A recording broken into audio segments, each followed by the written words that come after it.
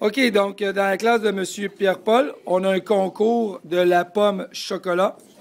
Donc, à partir de là, on a huit élèves aujourd'hui. Demain, on fera deux autres vagues de huit autres élèves.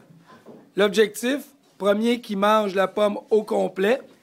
Et on a deux minutes maximum pour manger la pomme. Est-ce que vous êtes prêts? Oui! On commence dans 5, 4, 3, 2, are